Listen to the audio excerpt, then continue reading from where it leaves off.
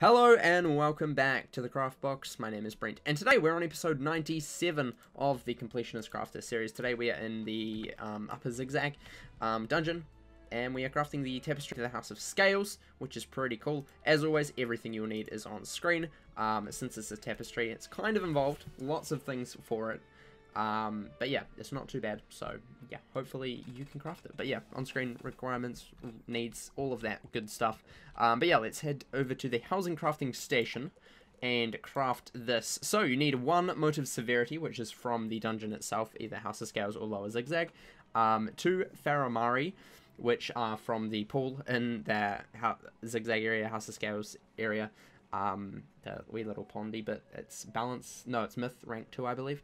Um, Mode of Beauty, you need one of those, which is from the previous, um, or one of the previous ones. I believe that is the first one, um, in uh, Kimberlung, I believe. And I believe Severity is House of Scales. It could be, um, it could be Buckingham Palace. I'm not 100% sure, but it's one of those two. Um, but there's a whole bunch of uh, skeleton key bosses that also drop them. Um, Parchment, kind of a little bit annoying um, to get, but Krokotopia has quite a bit of them. Um, so yeah, you should have enough if you just pick up enough around the place.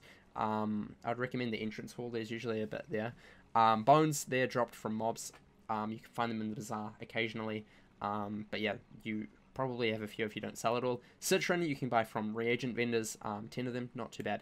And yeah, there we go. House of Scales Tapestry. Again, just like the last time, it is a tapestry. We will go place it inside in our wee little tapestry room that is not outside because we're gonna have way too many tapestries at the end of this. Way too many. Um, but yeah, I love tapestries. It makes getting around so much quicker. We are gonna have to go over here.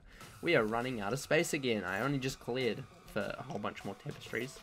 And we, hey, there we go. Let's put it right there. There we go. This is what it looks like. Pretty cool. And it takes you right over when it loads right over here, right at the entrance. Yeah, this pool here is where you can get the Faramari um, myth rank 2 I believe. Um, yeah and this is the vendor obviously. So yeah right here and this is the House of Scales dungeon.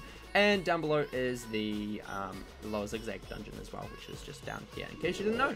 Um, but yeah that is all for today. Thank you for watching. Remember to leave a like and subscribe. If you're subscribed press the wee little bell and remember to craft outside the box